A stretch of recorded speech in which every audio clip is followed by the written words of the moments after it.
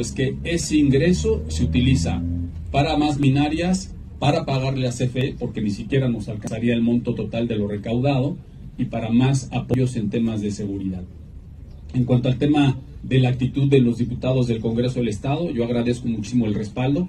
de mi amigo Néstor, eh, en verdad agradezco mucho su respaldo de él. He platicado ya con varios diputados de Acción Nacional.